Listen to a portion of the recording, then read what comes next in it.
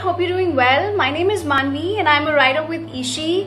In six years of interviewing people and writing their stories, one of the things that I've learned in the process is that communication and psychology are very, very closely related. You can tell a lot about people by observing as they interact with one another. My interactions have specifically pushed me to understand human psychology that goes beyond the surface level and I will be bringing some of these learnings to you on eShe TV going forward.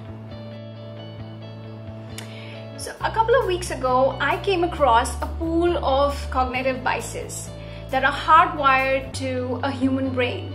Now, what are these cognitive biases? These are patterns that influence our decision-making process, our thinking, our judgment, uh, one of this bias, one of the bias, one of the pattern that I'm going to talk about is called G.I. Joe fallacy. Now, to be honest, I only knew G.I. Joe as a cartoon character, but apparently it's a fascinating psychology term coined by Professor Laurie Santos, who's a professor of psychology at Yale, uh, for researchers who are studying cognitive sciences.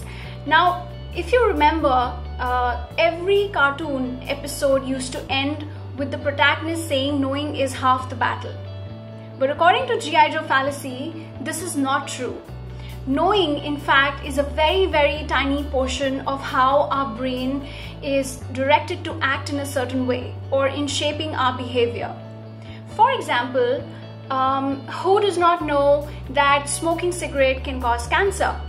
Or who does not know that um, eating too much of junk can cause obesity?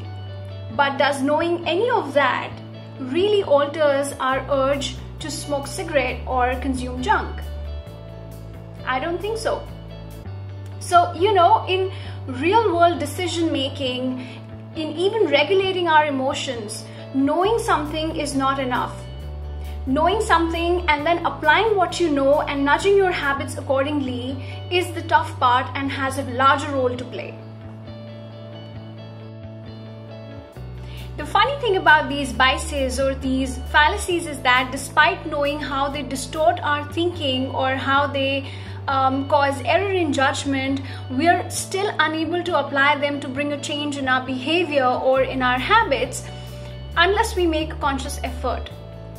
Also, a majority of the time, these biases are so subtle that we're not even able to identify them, let alone dealing with them effectively. So that brings me to a very important question. How should one outsmart these cognitive biases? Israeli psychologist and economist Daniel Kahneman suggests maybe you should start with questioning where they're coming from. Are you relying too much on your intuitions? Maybe that is leading you to focus on the wrong things. Um, are you being overconfident? Um, are you mentally, emotionally, physically drained? That's also a reason for um, subconscious behavioral patterns. Um, or are you, um, you know, responding from some suppressed older emotions um, and not reacting to the present situation at hand? You know, we never focus on these questions, um, and that is why it becomes easier for errors to seep in, but maybe we should.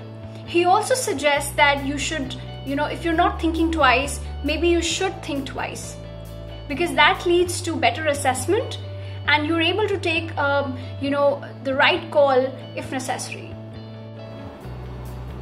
If you're interested in psychology and behavioral science, I strongly recommend you to read more about the subject and apply your key takeaways in day-to-day -day decision making to see how these biases act. That's all from my side. Like and follow us on eShe World and stay tuned for more psychology trivia with me on eShe TV Mind Matters. Bye bye.